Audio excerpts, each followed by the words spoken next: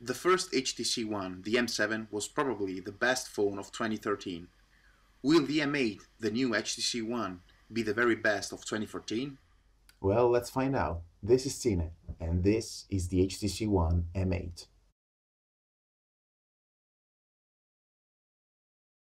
The HTC One M8 is a beauty. Double camera part, you love it or you hate it, is the best looking phone out there. To fully appreciate the aluminum almost unibody, like 90% aluminum, and to feel the precision of the round edges, you have to hold it in your hand. We have to give credit to HTC. On the build quality side, they managed to improve the perfection. And of course, the screen is at the top, with this 5 inches SLCD3 display with Gorilla Glass 3 on the top.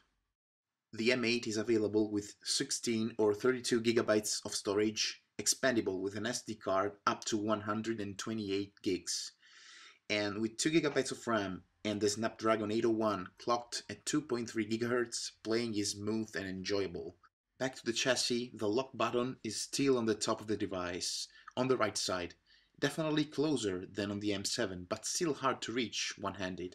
And yes, this is because the M8 is taller than the average 5 inches devices. To the software side, HTC Sense 6.0 on top of Android KitKat 4.4.2 is great as always, very smooth and reactive.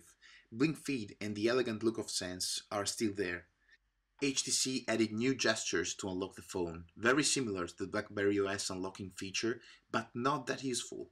To save battery and avoid pocket calling, the features are enabled only after the phone is moved or picked up.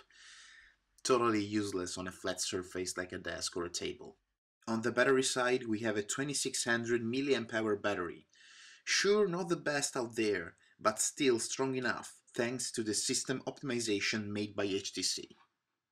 Though the HTC One M8 is not all shiny gold, the rear-facing camera is double. We have two cameras on the back of the phone for the refocus feature, but the main camera is still 4 ultrapixels like the old HTC One, and there is no optical image stabilization due to the incompatibility with the refocus feature.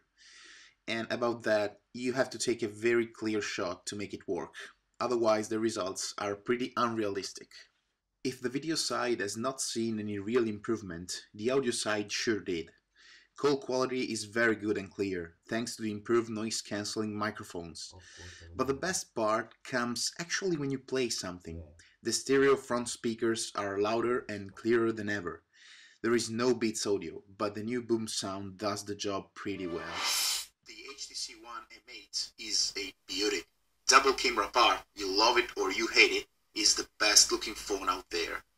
To fully appreciate the aluminum almost unibody, like 90% aluminum, and to feel the precision of the round edges, you have to hold it in your hand. In the end, the HTC One M8 is not just okay, it's a great phone with some inconsistency in the unlock screen features and maybe with the camera that is not up to the rest of the phone, but except for those two things, the new HTC One is really a beauty and definitely is Cine approved.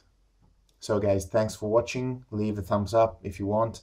And if you like the video, let me know in the comment down below what do you think about this review about the HTC One.